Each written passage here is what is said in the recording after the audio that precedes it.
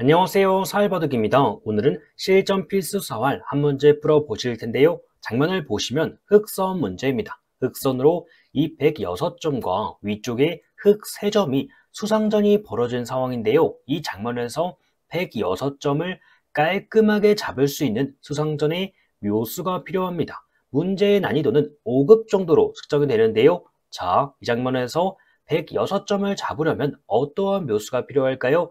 영상을 보시기 전에 먼저 풀어보세요.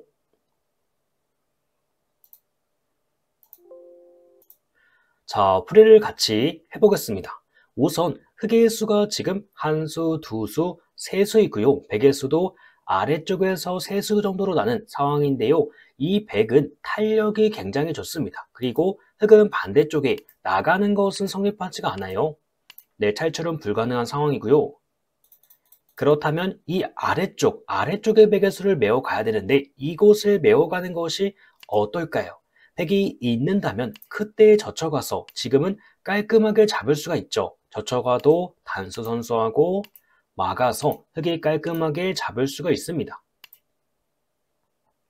하지만 이 장면에선 백도 이 선에 젖히는 수가 가장 좋아요. 이때 막아가야 되는데 그때 위쪽을 막습니다.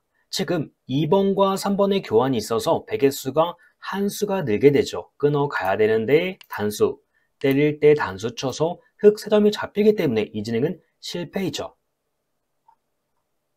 그렇다고 아래쪽을 그냥 끊어 먹는 것은 이거는 수상전이 안 되죠. 이어야 되는데 막고 또 막아가서 이 역시 수상전이 되지 않습니다.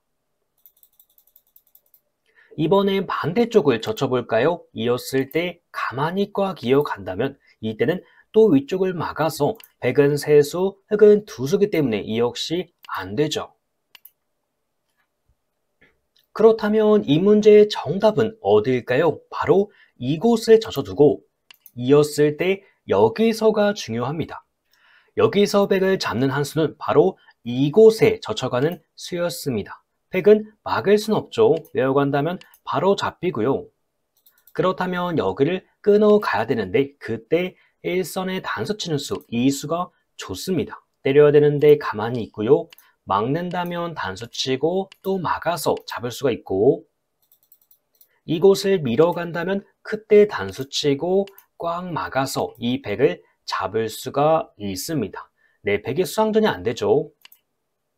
잡혔고요. 네, 이 문제는 정말 실전에서 상당히 많이 나올 수 있는 그런 수상전 문제인데요. 이곳을 젖히고 한 번 더 젖혀가서 백에게 틈을 주지 않는 것이 이 문제의 정답이었습니다. 여기를 끊었을 때도 중요한데요. 그때 바로 일선을 밀어가고 이어가는 수, 이 수가 좋은 수로 백을 잡고 흑을 살리는 문제였습니다. 오늘도 저희 사활 바둑과 함께 중급 사활 한 문제 풀어보셨는데요. 영상이 유익하셨다면 구독과 좋아요 부탁드립니다. 강의의 사활 바둑이었습니다. 오늘도 좋은 하루 보내세요. 시청 감사합니다.